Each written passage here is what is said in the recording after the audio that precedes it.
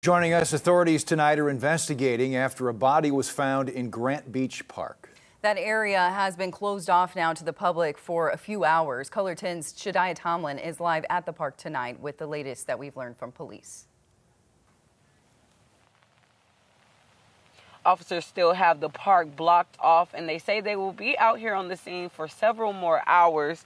The Springfield Police Department responded to a call from the from a park visitor around 7 p.m. in Grant Beach Park. They call the call reported finding a body near a tree. Upon arrival, officers located the deceased individual and immediately secured the area. Authorities have not been have not released any information regarding the identity of the victim or the cause of death at this time.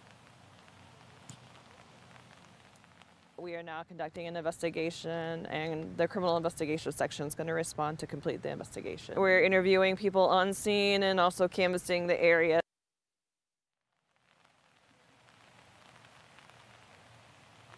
SPD urges anyone with any information on this uh, disturbance to contact them immediately. Reporting live in Springfield, I'm Shadiah Tomlin, Ozarks First.